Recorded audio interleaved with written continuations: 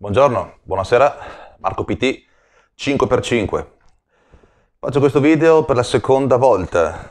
Uh, il primo video lo avevo girato in auto, così al volo, eh, per rispondere alle richieste.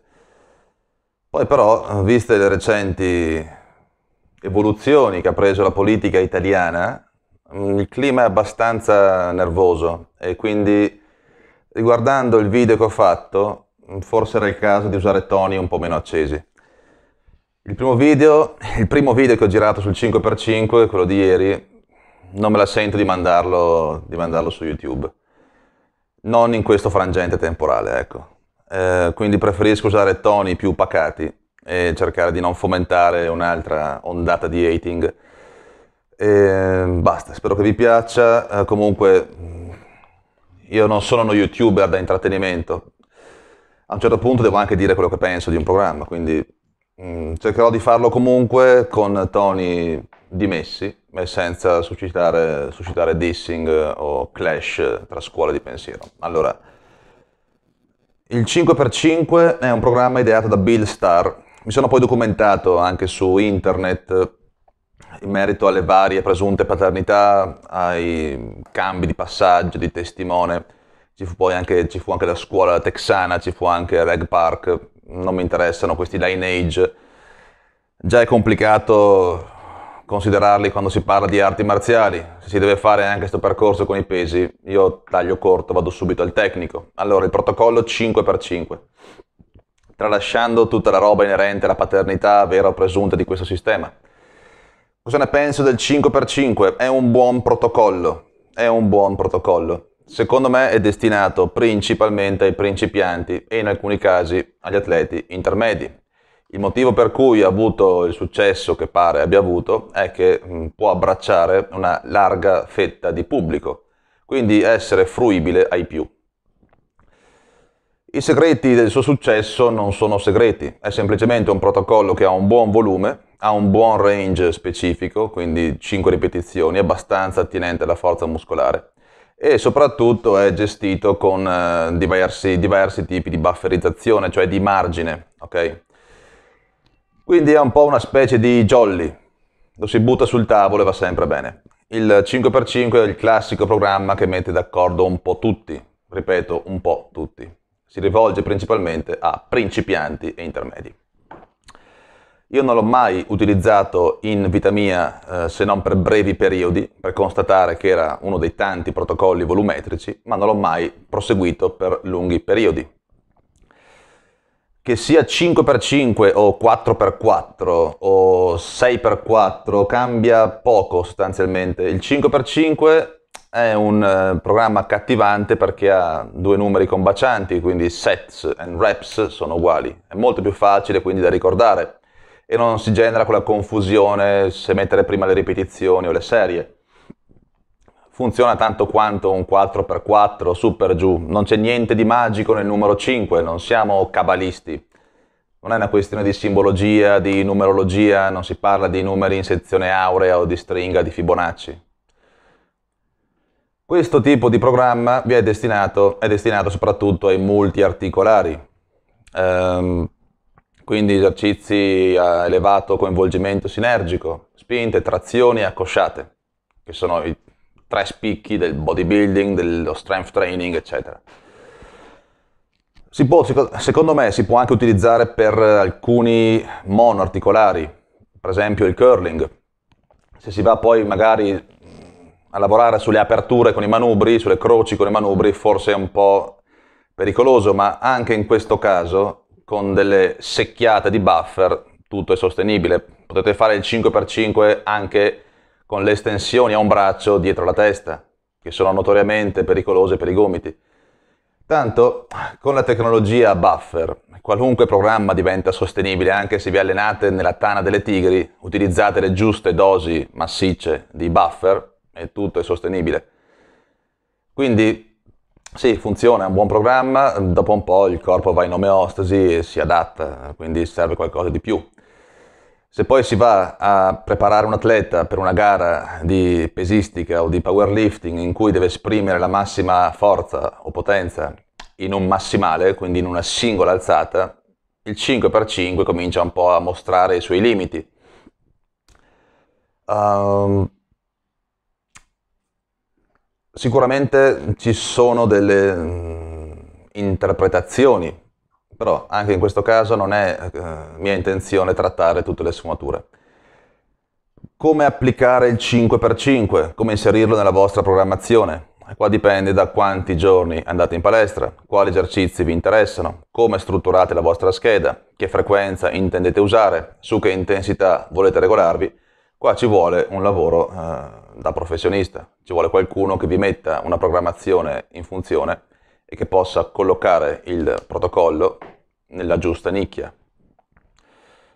Um, si può praticare il 5x5 anche ad altissima frequenza. Io ho un amico che a Manchester ha fatto il suo record storico di military press facendo un 5x5 quotidiano, cioè 7 su 7, lento avanti.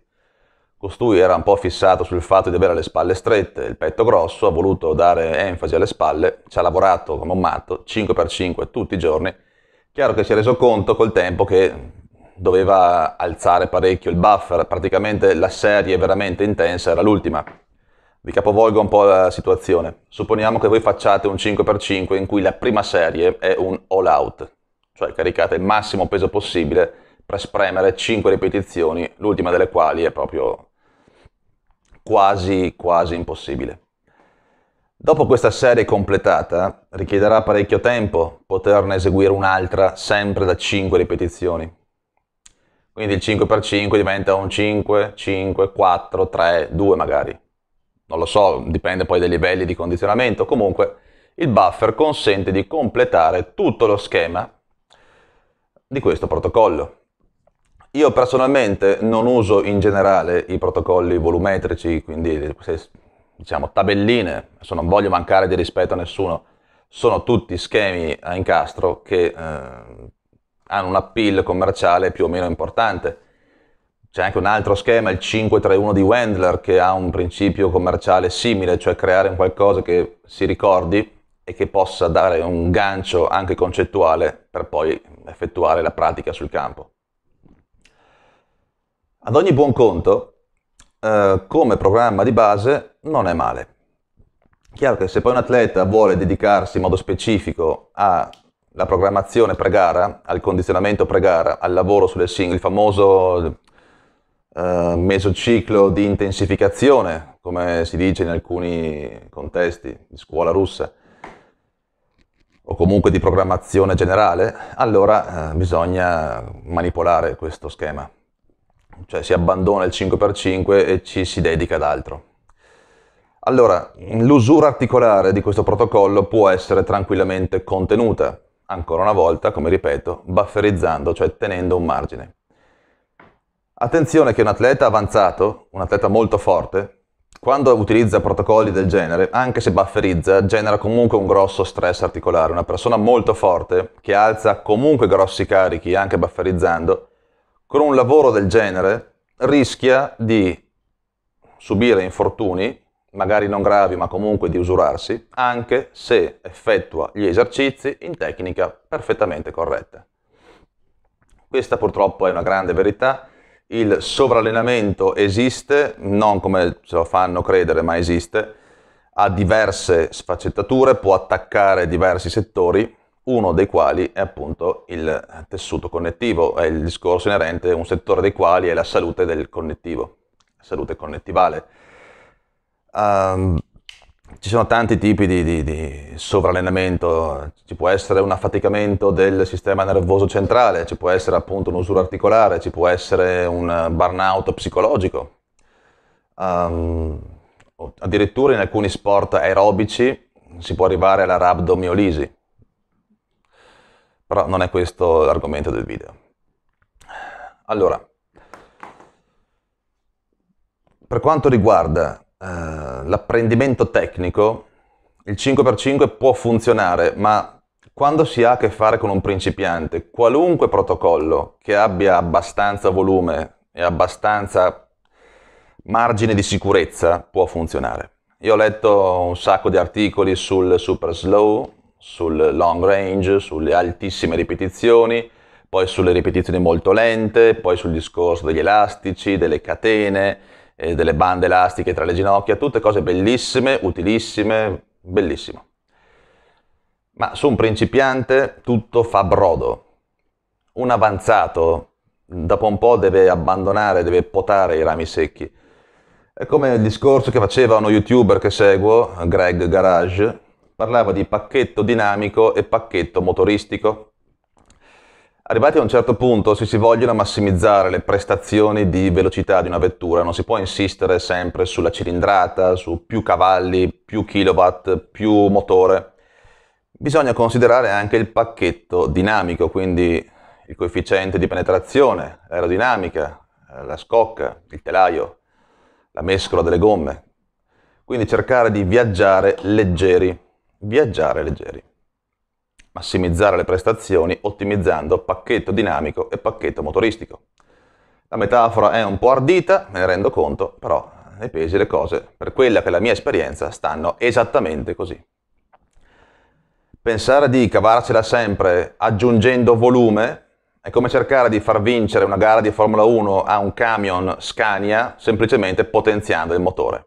Non funziona così. Bisogna intervenire sulla programmazione generale, manipolare le colonne portanti della programmazione come frequenza, intensità, oltre che volume. C'è anche un discorso da fare in merito alla scelta degli esercizi e soprattutto del numero di esercizi. A volte le scelte diventano radicali, Programmi apparentemente assurdi che però funzionano su una ristretta cerchia di persone che ormai hanno spremuto all'osso il loro potenziale genetico e che devono specializzarsi. Va da sé che specializzarsi vuol dire occuparsi in modo sempre più ristretto di uno specifico segmento del training.